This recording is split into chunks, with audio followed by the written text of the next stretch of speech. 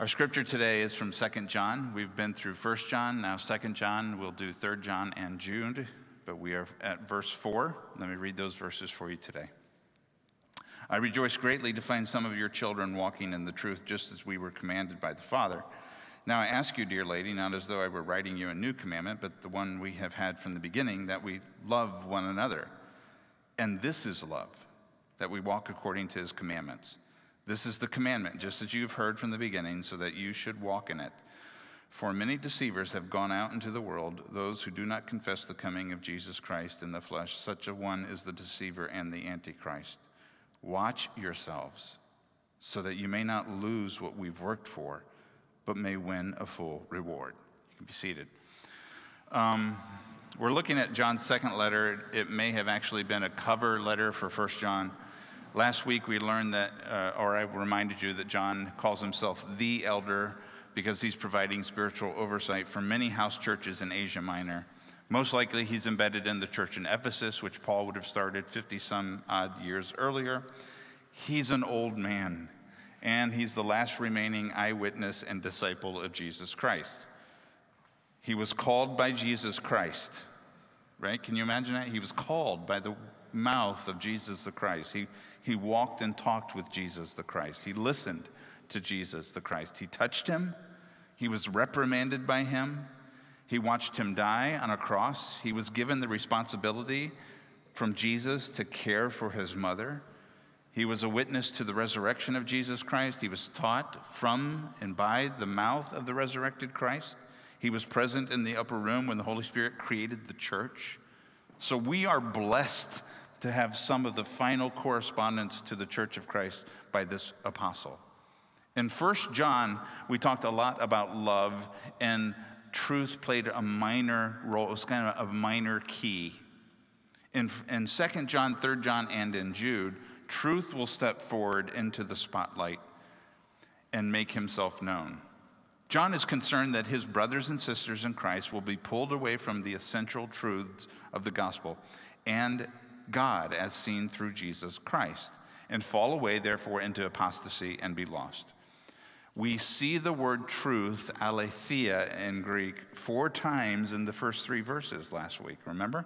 John says that he loves this church in the truth, also all who know the truth, because the truth abides in us. And then he blesses them with grace, mercy, and peace from God and his Son in truth and love four times in three verses. And then he begins our section today, this morning, in verse four, by saying, I rejoice greatly to find some of your children walking in the truth. And here John is beginning to present a joy and a burden. Any real pastor of Jesus Christ, any real elder, will tell you that the greatest joy is to see or to witness, they might say, their people walking in the truth. Really, it's God's people, but it's amazing to see when you see someone who cares deeply about the truth, wants to study it on their own, take notes of sermons, right, or do devotionals and take notes, dig into the word fully, fully, and then you begin to see that take root as that individual becomes more secure in their identity in Christ and they begin to produce fruit. They serve the body, they live lives above reproach, they don't gossip, they won't slander, they're forgiving always, they're at peace with all people as much as it depends on them. And then to see that person become softer and not harder because truth of Christ should make us softer and more gentle, more loving, more consistent in our acts of love to the church and the body of Christ, to commit to participating in the church of Christ more and to make her more beautiful. People that keep leaving churches say, Well, there's not many people like me. Well, that's why you're there, right? To make the bride more beautiful. So I think it's important that when John says something like this, I rejoice to find some of your children walking in the truth. Yes, there's joy, but when he talks about walking in the truth, that means something entirely different than if it would have been from the mouth of a Pharisee or a Sadducee, right? Or even maybe different from what you think it means because you may have been subject to spiritual abuse in the church or her leaders in the past. So I want you to know that when he's talking like this, walking in the truth, he's not talking about dancing or having an alcoholic beverage or the length of your skirt, ladies. Those are all wisdom questions. Remember, truth are the keys of the piano, and wisdom is the music that we make. You can make a billion songs from the same keys of truth, but the keys are always the keys. Too many churches have been upset just by different music people are playing instead of saying, well, that's not really a truth, it's okay. John is talking about the keys. In other words, he's, he's asking this question all through 1 John Are you a Christian? John's keys are not burdensome truth, love, and life change. Truth, love, life change. We might say doctrine, relationship, and ethics. Are, are those coming together? Now, John would say the piano is Jesus Christ or, or God as seen through Jesus Christ, that Jesus came to reveal the Father, and there is no way to the Father except through the Son. You can't even see a piano in the room except something happens to you. It's the grace of God, and it's the love of God, and it's the problem of a broken truth reconciled by God as seen on the cross. And John was there for it all. You see, it was revealed to him. So, therefore, truth is light, he would say. It's revelation. And without it, you stay, we stay in the darkness. So, for John, the truth that he has mentioned literally in writing is only a few things, and we're going to talk about them a little bit. Last week, I talked about truth being the foundation of the church, and that without it, the church is not really a church of Christ. Well, can I remind us that John nor I have been talking about things like complementarianism or egalitarianism or the truth of paedo baptism or credo baptism or the truth about continuationism and cessationism. And if you don't know what those words mean, thank you. Uh, when we come across those texts, they are debated, they're gray areas. I will share my views on them, not to say that I don't have opinions on all of those things. But the Bible doesn't mention them as areas for disfellowship or areas about which people must agree in order to be included or excluded from a community of faith. Nor will I, nor will your elders, who, by the way, may have differing views on all of those areas of theology.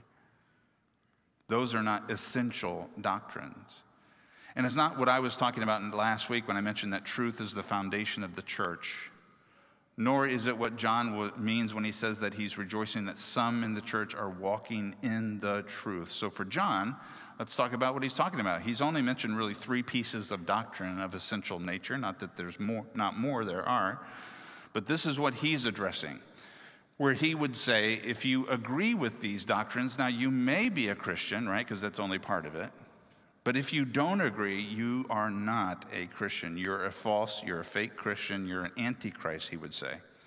So obviously, I agree with John because I believe in the Bible and the authority of the word. So here they are. If you don't believe these things this morning and you say you're a Christian, you're not. The man Jesus is the Christ. So Jesus, the man, is also the Messiah of the world.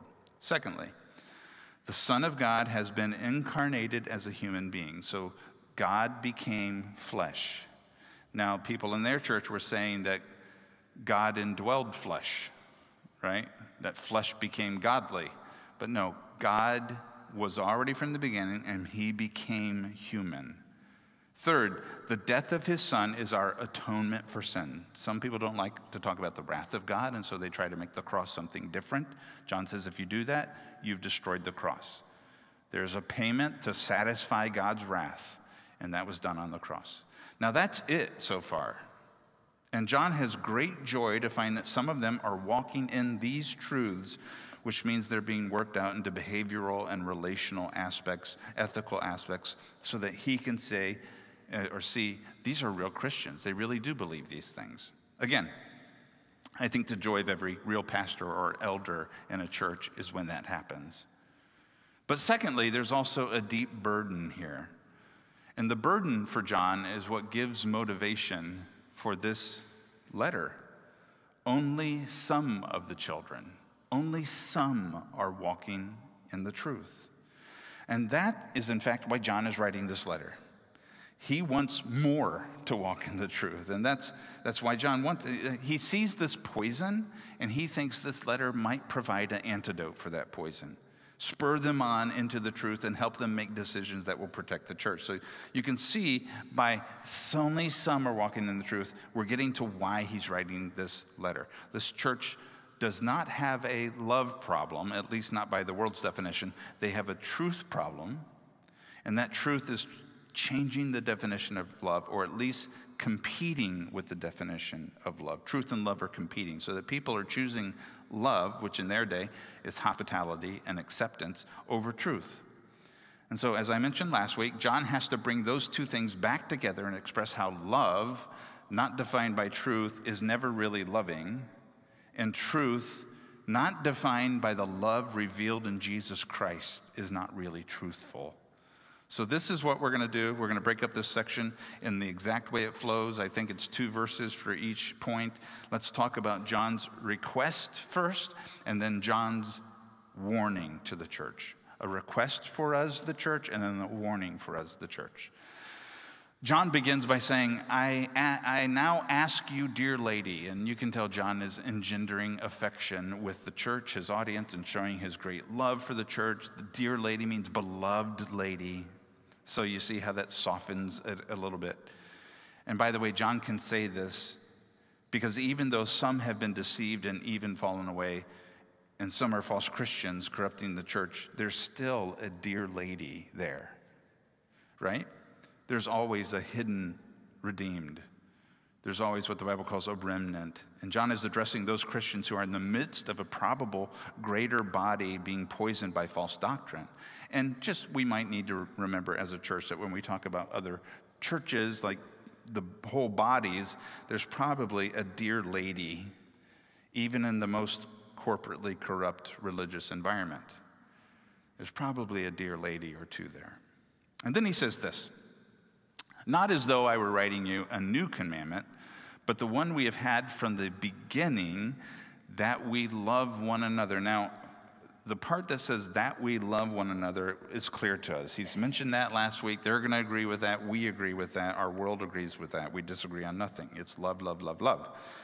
But also, John is reminding us by saying from the beginning, and he keeps saying that, he's telling you that he's not an innovator. Does that make sense?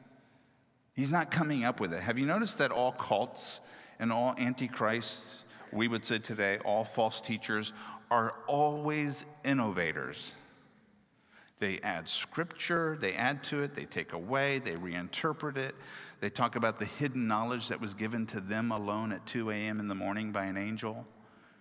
And therefore, now they're going to rewrite the Bible themselves, or that the, they were doing their devotionals and the Spirit showed them a new way to interpret the scripture that nobody else has understood through breathing exercises and mental transportation and I've been to some of those type of Bible studies, and I've, I've seen people close their eyes and say something like, Oh, I picture Jesus right here sitting next to his disciples in this crowded, dark upper room over candlelight, drinking wine with his disciples and the bitter taste of the wine. And it's such a dark and okay, fine, but the room was really big. And the men were probably reclining on benches, eating a full meal with women, wives, and children. Like, you don't need to bake up your own image. Or, or they close their eyes and they go, oh, okay, this scripture. I picture Jesus talking to his disciples all day, and it's hot, and the sand is pushing up through his toes, and uh, he's sweating, and they're tired, and it's like all day to get to the next village. And now this scripture makes more sense when he talks about hard toil and labor. And I'm sitting there going, Great, that's really cool. But that was actually an incredibly rocky walk, and it's at high altitude. And he was probably very cool. And Jesus wore sandals, and it only took them an hour to get to the next village. Like, you don't need to have special spiritual knowledge for this, you can do the work. Right? And so many people who are false teachers are always innovators. Always God showed them something that you can't see, trying to look for different or special knowledge that nobody else has. Those were the deceivers in John's church still today. John says, What I'm telling you about, we've had from the beginning. See, this isn't a twist on, this isn't John's Christianity twist. It's not an ethical or relational novelty. It's not hidden mystery.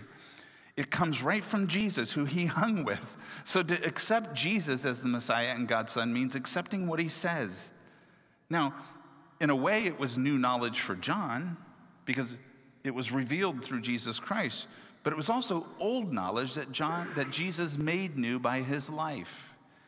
Let me read the scripture for you that John's talking about when he talks about something that began Christianity that was not new. It's from the beginning of your Christianity. You knew this. But John was in the upper room, chapter 13, and John recorded this, verse 34. Jesus says, A new commandment I give to you that you love one another just as I have loved you. You also are to love one another. You see that new commandment part? Jesus came in part to reveal what love looked like. But the loving one another part wasn't new. Moses had already said it in Leviticus 19:18. It was so revered a law in their day, it was thought of as, as the second greatest commandment in the scripture. The next one was, Hear, O Israel, the Lord your God, the Lord is one. Number two is, Love your neighbor as yourself. So the newness of this commandment that Jesus give, is giving is not the ethical standard. It was that part where he says, As I have loved you. That was newly revealed by Jesus. In other words, we didn't know God's love for us until we saw Jesus. Jesus, in his own life and ministry and teachings and death, had provided John the index and the measure of what real love is. Jesus had loved them all fully in his three years. He washed their feet in the upper room. That's a new view of love that you serve others Uh, beneath you, that you take the lowest role, you know, role in the room. They would all, you know, they would all betray Jesus, but Judas was there and he washed the feet of his betrayer. That's a new vision of love. You serve even one who will turn his back on you. He sweat, he sweat drops of blood in Gethsemane as he held on to his obedience and the will of his Father more than he loved himself. That's a new vision of love that kind of obedience. He was nailed to a cross to provide a way of forgiveness, dying even for those who spat at him and mocked him and nailed spikes into his hands and feet. Like, that's the newness of the love, as he's saying, a new commandment. As you're watching me love you, so love one another. That's, a, that's, a, that's the revelation of the cross. And Christians the, who became Christians in the first century knew that new revelation. That's from the beginning, this, this kind of love. Remember John in 1 John, oh, what great love the Father has for us that we should be called children of His. That was true in the Old Testament, though, just as much as it was in the New Testament. It's just that people couldn't see it until Jesus came. So Christ came not as a, a separate entity of His Father. People do that all the time. It's like, uh, you know, Jesus is like, yeah, my dad, he's like always upset, you know, like he's, he's mean, but I'm really kind and loving. No, Jesus Christ came to reveal and testify to the Father's love for humanity that they couldn't see until Jesus, and now they could go back in the Old Testament and actually understand it. One more thing I want you to see about this request is that notice that it's a commandment to love. It came from Jesus to, to, his disciples, from the apostles to the church, to our church, which means doesn't this mean that love cannot be reduced to a feeling or an emotion? Or else it couldn't be a commandment. Jesus didn't feel like going to the cross, right? So it's a command from Jesus to love this way means to serve the body of Christ as Christ served all of us, to put ourselves below one another, to serve, to love, to the kind of love experienced by the Apostle John when he walked with Jesus, one who was a, thunder right? And he became the, the apostle, the, the one that Jesus loved. So John's request is for the church to love one another, right? We get that. But now, because he thinks that you and I might misunderstand that, which we do, he goes to the next verse, which I believe is one of the most important verses for our church today, in any church. He's, he begins in verse 6. And this is love. Okay? You have to stop there. Love equals. And this is the definition of love because people don't know that, what it means to love one another. Walk according to his commandments. This is such an important concept for the church. You see, love is, love equals means that we don't get to say what love is, doesn't it? We don't get to define truth, we don't get to define love. These things were given to us from outside of our realm of existence. I saw a comic strip on a website called nakedpastor.com. And Jesus is standing there. You know, he always looks beautiful and sweet and kind. And he's talking to a group of very conservative church people, you could tell, because they're all sitting, they're standing there with their suits and they're holding big Bibles and they're looking all stiff, just like he wants them to look. And Jesus, the cool one, says to these church people, the difference between me and you is you use scripture to determine what love means, and I use love to determine what scripture means. Oh, yeah, bro. Like, that's so wrong. And that's the battle today for truth. The church is so afraid of being seen as unloving that we have many times given up our mandate to provide truth in a world where the great deceiver reigns supreme. If you go to that site, nakedpastor.com, please, you can go if you want, you'll see how far they have left the truth. Why? Because they don't really believe that God is love. What they believe is love is God. Love is not God. God is love, not the other way around. John was right there when Jesus said, John, John uh, recorded it in John chapter 14. Jesus says, If you love me, you see, he's defining love, you will obey my commands. All the commands of God, all the do's and the do nots are all loving. Now, I know we live in a world today that wants to be free of stuff like that, but when the roller coaster attendant brings the lap bar down and then comes over to you and checks that it's locked, that's an act of love. He's not suppressing your freedom, He's giving you life. And so many today are like a branch on this great, glorious tree of Christianity that has deep roots in the ground, grown in blood, and they just rip their branch off the tree and shove themselves in a different ground and say, There, I will grow my own way. This is what my tree will look like. Now, do you think that branch is going to flourish or die? Love is not sentimentality, it's not empathy only, it has a definition. Let me share with you some of the definitions of love because there are many in the scripture. All of the one another's in the scripture are telling us how to love one another, right? So, this is what love means in part. It means if you cause strife in my life, I will be patient with you. It means if you come to me with a request or desire or even to challenge me, you should see that I will submit to you, even if I'm wrong, even if you're wrong. It means if you're struggling, I will encourage you. It means if you're bearing hardship, I will bear it with you. It means if I see sin in your life, I will pray for you and I will bring it to your attention. It means if you're grieving, I will grieve with you. If you're rejoicing, I will rejoice with you. It means if you have an incorrect understanding of essential doctrine, I will instruct you. It means if you stumble, I will help to pick you up. It also means if you're willingly disobedient to God's word or preach a different gospel than the one that they preach, just like Paul said, I will confront you. And absent of repentance and correction, I will break fellowship with you, as Christian breaks fellowship with darkness. Why? Because love has been defined for us. And all of the things that I just mentioned, some of them you went, yay, and some of them you went, ugh. All of them were in the life of Jesus Christ. Every time he, and he was love. Love's not our God, God is love. If you want to know how to love, you must know God. You must know His Word. You must know His decrees, His laws, His commandments. And this is the issue John is trying to correct. Why? Because one of the loving one another things in the scripture is to show hospitality, to let people in, to, to take care of them. And so, what, and so the question here for this church is what happens when a love command conflicts with truth? Have any of you experienced that in your own life? When you're like, I want to be loving, but, but I want to be truthful. How do I do that? What does it mean? Where are the boundaries? Well, that was happening in this church.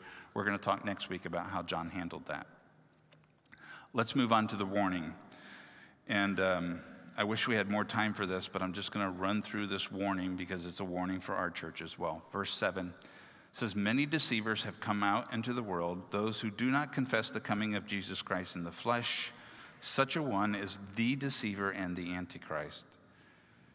John's the only author in the Bible who uses the phrase antichrist. It means literally against Christ. He uses it in 1 John, he uses it in the book of Revelation. It's one of the many reasons we know he wrote all of those books. But it seems like John is trying to protect his house churches from those who had broke away from the church that he mentioned, by the way, in, in uh, Revelation. But he, we think that those people might have broken away from his home church. And the one John says, if you remember that, well, they left us, but they were never with us, meaning they were never Christians anyway. They've come out and now they're going to find other churches to spread their poison. Now, we're going to bring context to this next week as we end first John, or second John when we talk about hospitality and how important it was in their culture for loving one another. But there was a circuit of house churches in Asia Minor that provided food, love, care, attention, service. And as you can imagine, in a, in a day of extreme poverty, that was as good a way as any to make a living. Right? And so, especially if you said, I'm a Christian, and especially now, you could provide teaching. You might be really intelligent, and you could offer something back to the community your knowledge, your teaching.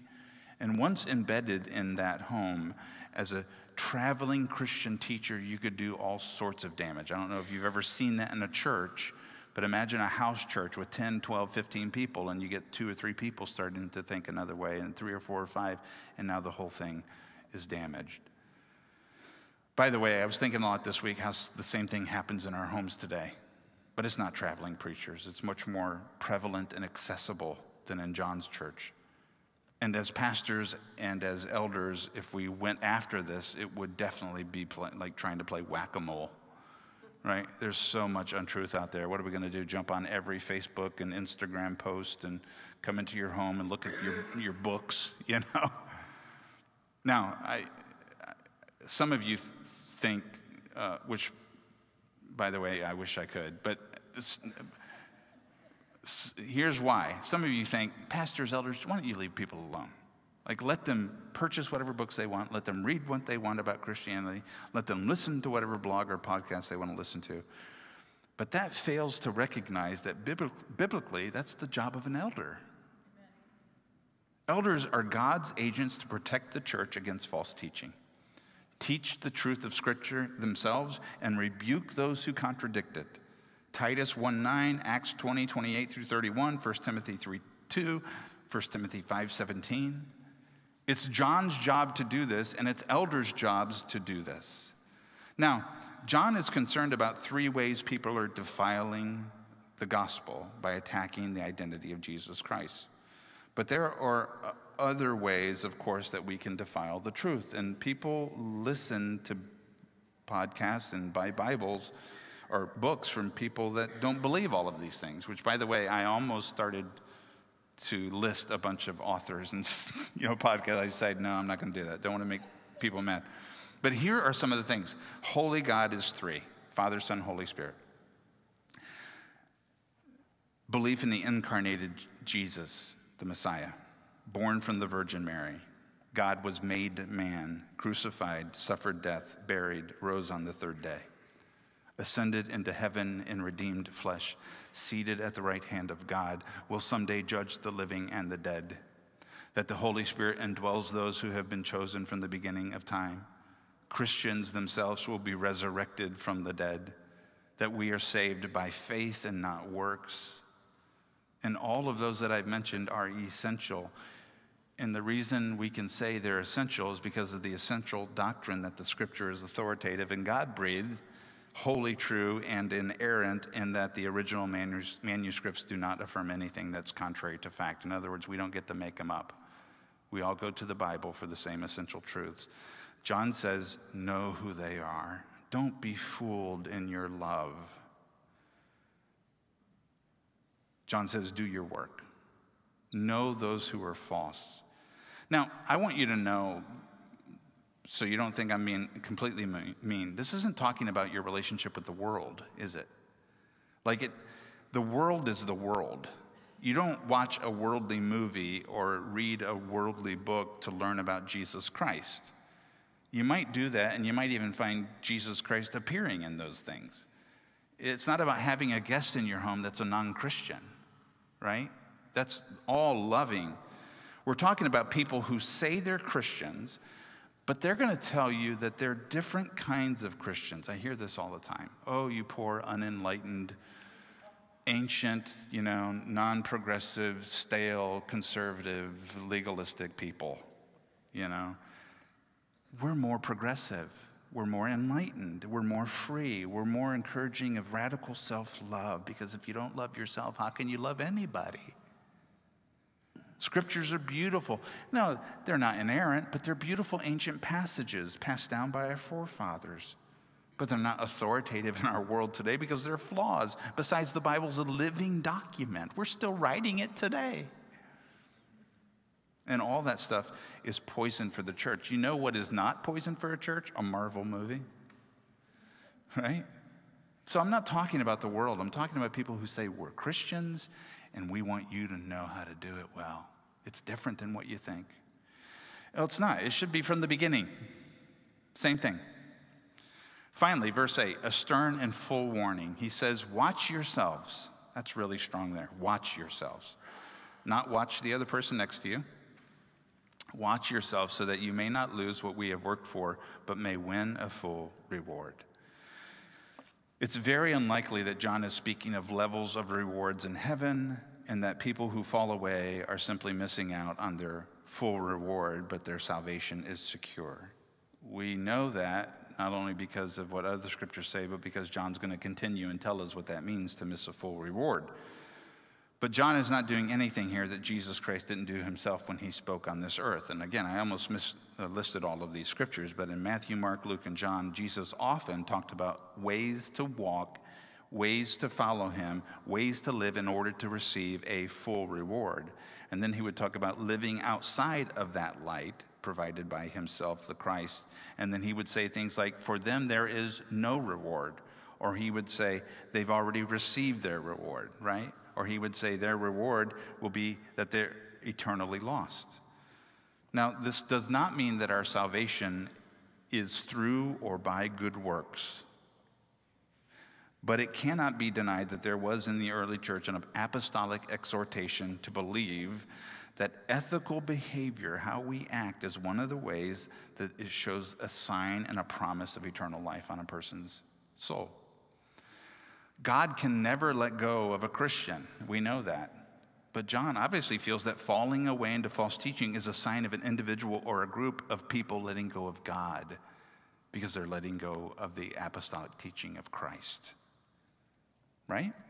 Notice John saying, I don't want you to lose what we have worked for. Notice he says we plural. I don't want you to lose what we have worked for. And he's talking about Jesus Christ. He's talking about God. Jesus Christ bled and died on the cross for you. He's talking about the apostles. He's talking about John himself. John has watched now as all of his dear brothers have been killed for this gospel over the years to, to talk about the same gospel Nobody changed it, and they were being killed for it. Apostolic Christianity had nothing going for it.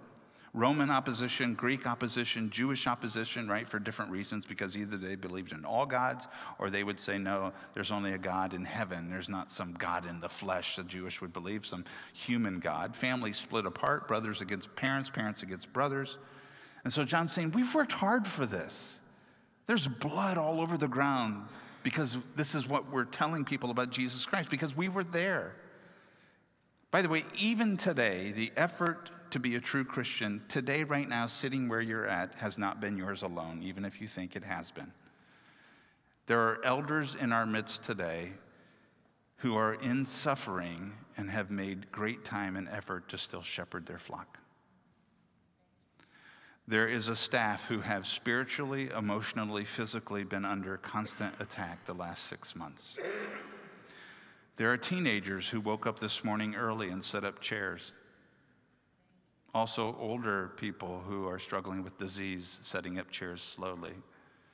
There are, teen- there are teenagers who are teaching your little children people who have been arriving early for 19 years in this church so far and staying after to make this building presentable for you and the Lord's work. Youth leaders who go on long trips and stay up late at night with your teenagers to listen to them and love them unconditionally. People have probably showed up at your door with food when you're suffering or your spouse is pregnant or to help you move your furniture in a moment's notice up come the trucks from Eternal. There are people who have called you, who've cried with you, who've, who've rejoiced with you, who've showed up to cast demons from your home.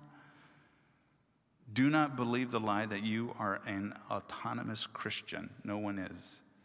Don't give up what we have worked so hard for. How dare you possibly give it all up just because you really like what Marcus Borg and Richard Rohr have to say? I just mentioned two, didn't I? Rachel Held Evans and Lamont. Uh, sorry. Brian McLaren. Um, this, this lose your reward bit always throws off Reformed Christians. But, you know, look, John doesn't know who the elect are. I heard John MacArthur once say, it'd be a lot easier to preach if I knew who the elect were. John doesn't know. Paul doesn't know. I don't know. What your elders here know, what I know, what your members know, is God has asked all of us to exhort, encourage, correct, rebuke, and clarify. Why? Because the Lord has chosen to use a faithful church out of his grace to participate in the salvation of his bride. We plant the seed that is not ours, we water the plant that is not ours, and God must make it grow, 1 Corinthians 3 6.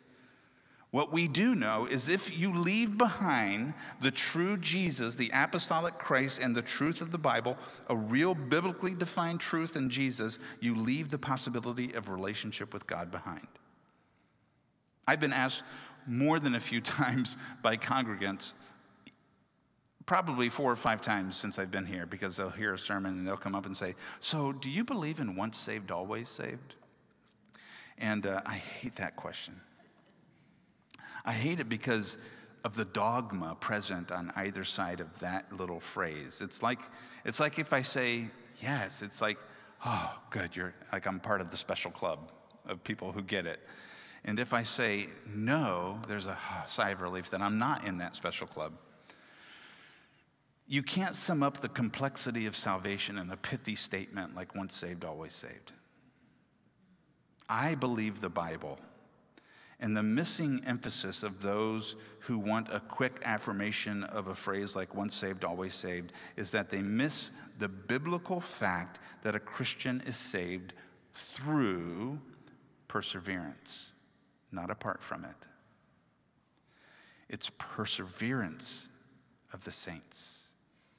It is as we persevere that we are saved. It's loyally believing, it's holding on the soil of our salvation, the seed, is the work of Jesus Christ on the cross. The evidence of that that seed has taken root and is a real plant is that there is perseverance to the end.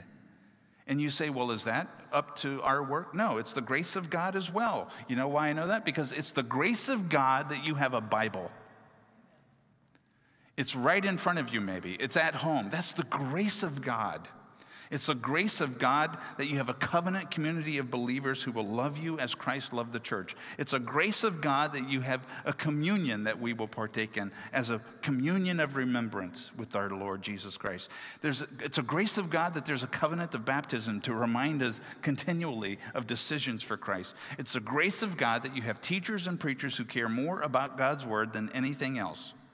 It's the grace of God that you have prayer as a means of grace to speak to Him through the Holy Spirit and have His presence, just you alone in your house can do that, an advocate in heaven.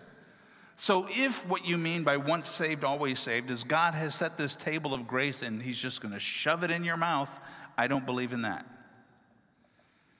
If you think I can listen to what I want to, I can do what I want, I can be what I want to be, that's not assurance, that's presumption and arrogance and entitlement. Why is John writing this letter if that kind of once saved, always saved is true? He thinks he can make a difference.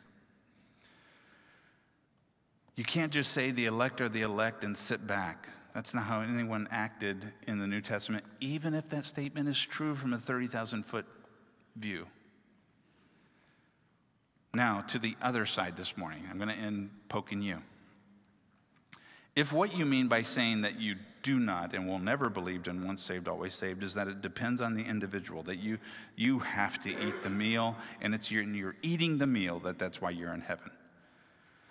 And what happened to you could happen to anybody if they just come to the table and cut it out and listen to people. Just go to church and stop it. And you believe that being elect means that God knows who the people are from the beginning who really are going to work hard enough for it. That's not assurance either. That's arrogance and legalism and spiritual brutality when you place it on others.